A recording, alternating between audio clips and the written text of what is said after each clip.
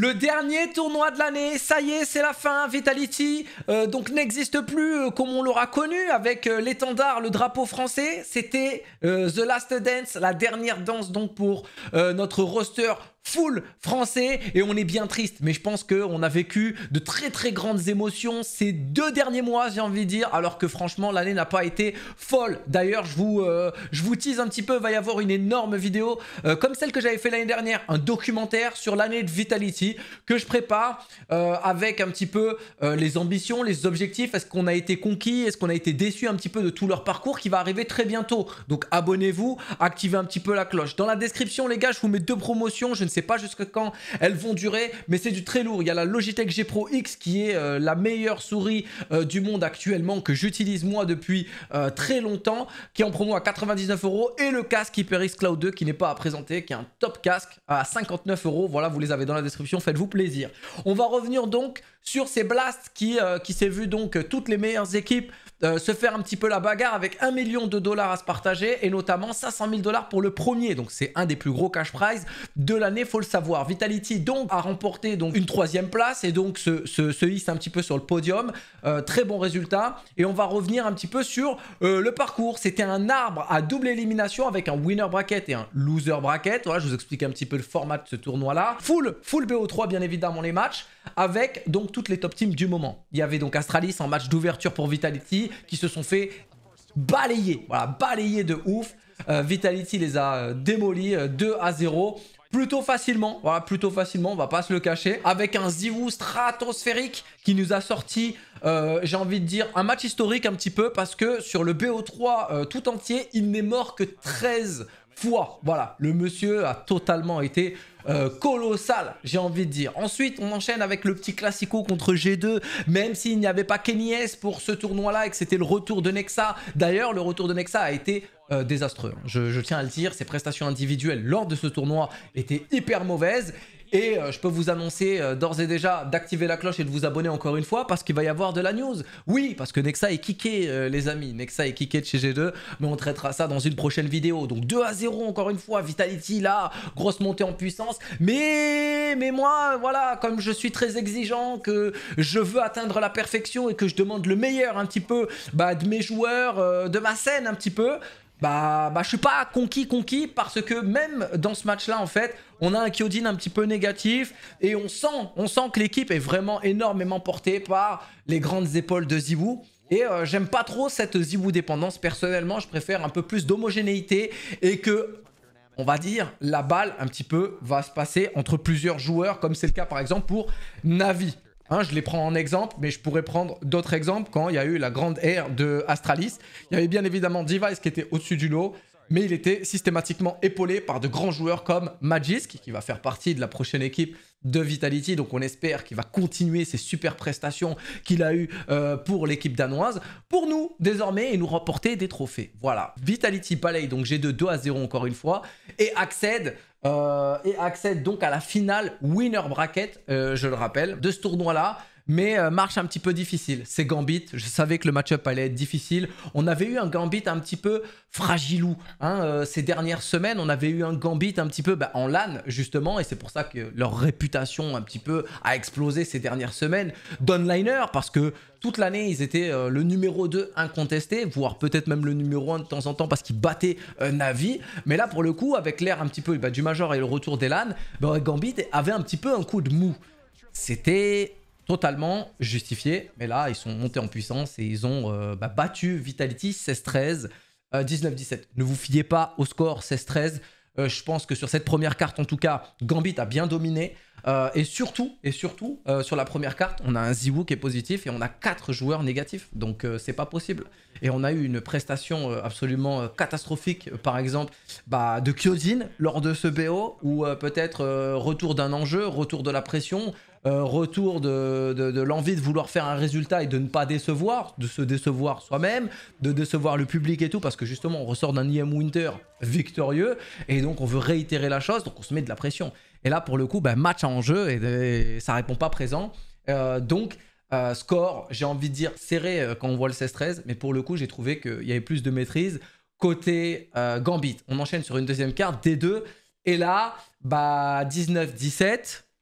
Même, même, constat. Même constat. On a Ziwu qui est positif, on a Apex qui est positif, et on a trois joueurs négatifs euh, derrière, avec justement Kyojin et Mizuta euh, très fragiles lors de, de, ce BO.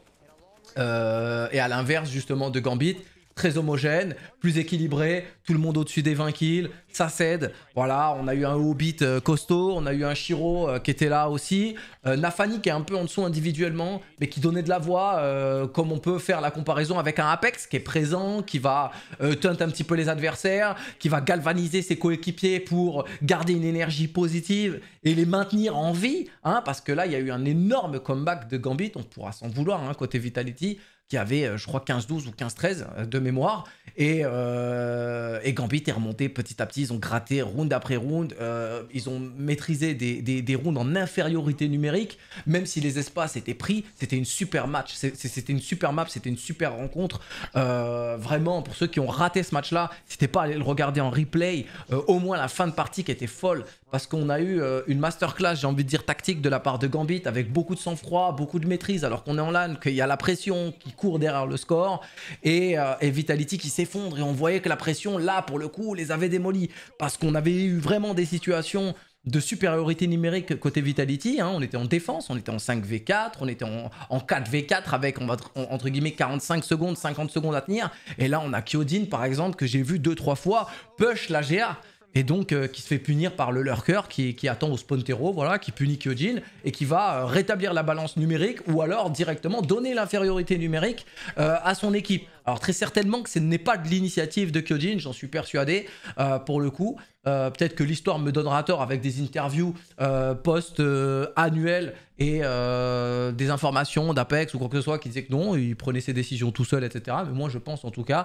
qu'on l'a un peu téléguidé sur ce coup-là. Euh, derrière, ben, on va en lower bracket. Et c'est Navi euh, qu'on va affronter, encore un énième classico, parce que Navi était tombé justement lors de son premier match. Et donc a dû remonter tout le lower bracket. Et c'est eux qui finissent victorieux de ces blasts. Ils ont eu un parcours absolument, euh, j'ai envie de dire, canon. Vraiment, Navi sont montés en puissance. Ils ont montré de la fragilité sur leur premier match. Bien évidemment, voilà, ils se sont fait démolir par, par Team Liquid. Mais derrière, ils ont ils ont, mis, euh, ils ont mis des tarifs un petit peu à tout le monde. Et même s'il y a eu des matchs un petit peu, j'ai envie de dire, euh, avec beaucoup d'adversité, dans tous les cas, la maîtrise était là. On a eu un simple stratosphérique qui a fini MVP même de ce tournoi-là. Et donc là, on a une fois encore un classico de, dingo entre bah, les deux meilleurs joueurs du monde, les deux meilleurs joueurs de l'histoire de Counter-Strike. Mais cette année, surtout, euh, j'ai envie de dire, une belle équipe de Navi. Ils nous ont fait, je pense, rêver. Tout fan de Counter-Strike ne peut qu'apprécier le niveau de Navi parce que tactiquement, c'est très solide. Euh, ils ont un coach de malade mental.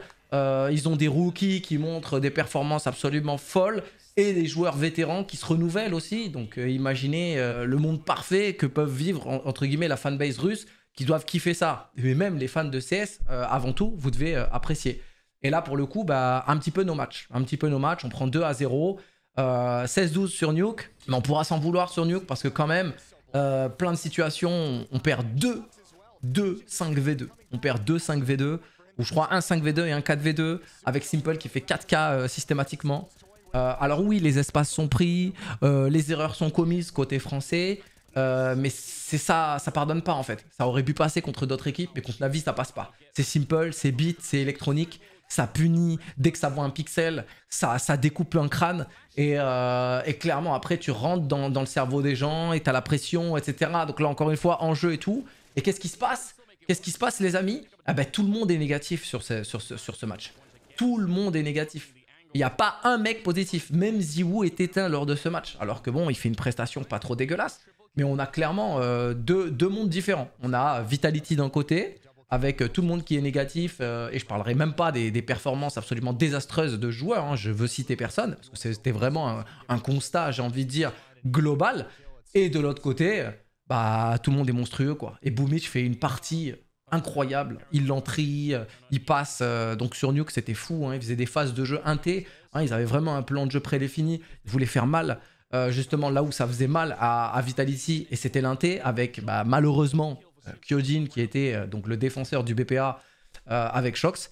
Et là, il y a Boomit qui sort Kaba, qui sort Porte, qui fait des infiltrations dans le conduit pour remonter, pour descendre.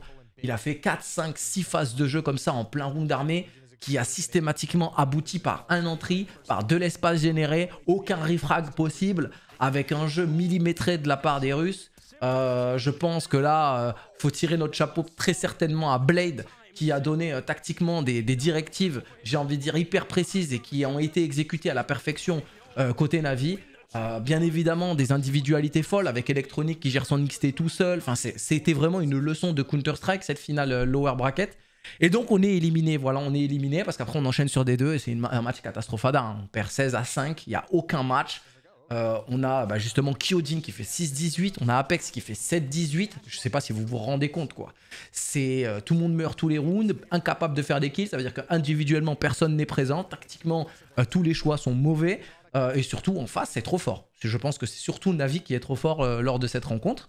Donc il faut leur tirer ça. En tout cas, c'était un, très très beau parcours de la part de, euh, Vitality. En tout cas, sur les, deux dernières semaines, je me hâterai à faire une vidéo beaucoup plus euh, complète sur le parcours entier euh, de Vitality. Là, c'est le débrief des blasts. Et donc pour le coup, bah, félicitations à nos amis de chez Navi.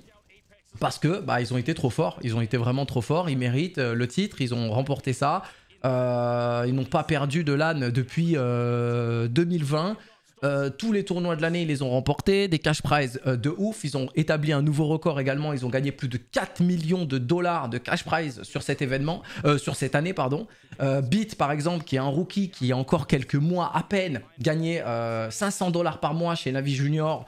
Aujourd'hui, il est propulsé dans le T1. Il s'affirme comme un pilier de la scène et un des joueurs, j'ai envie de dire, les plus charismatiques parce qu'il est suivi, il est, il est copié. Les gens vont forcément regarder ses démos pour lui ressembler. Donc c'est lui qui donne le ton carrément. C'est même pas un rookie qui va s'adapter à la scène, mais c'est clairement lui qui va donner son identité, euh, clairement pour les, pour les, pour les, pour, les futurs joueurs euh, qui, vont, euh, qui vont devoir un petit peu s'inspirer. et donc pour lui, bah, individuellement, il a quasiment gagné un million de dollars de cash prize cette année, plus son salaire, plus l'argent des stickers. Rendez-vous compte que c'est le dream absolu pour un joueur comme ça et que c'est un exemple à suivre. En tout cas, c'était une belle année de Counter-Strike qui nous promet euh, de belles choses pour la suite, parce qu'il va y avoir d'énormes changements pour justement essayer de contrecarrer les plans de Navi, qui a été absolument euh, colossal toute la saison. Mais merci à Vitality pour, j'ai envie de dire, euh, avoir sorti la tête de l'eau euh, depuis l'annonce euh, justement des kicks, etc., de jouer un peu sans pression et tout, bah voilà, on a vu le potentiel, ils nous ont fait rêver émotionnellement. Je pense que tout le monde a été ravi un petit peu des prestations des Français et euh, on espère maintenant que 2022 soit du succès, de la réussite pour absolument tous les acteurs français de la scène parce que voilà, il va y avoir énormément de changements. Je vous invite à vous abonner et à activer de ouf les notifications parce que va y avoir des dingueries. Que ce soit côté Vitality, côté G2 euh, et d'autres organisations, ça va être la folie. Merci d'avoir suivi cet, événement avec moi, cette vidéo. Et je vous donne rendez-vous bah, d'ici quelques jours pour une nouvelle vidéo et des nouvelles vidéos au pluriel. À très bientôt les amis.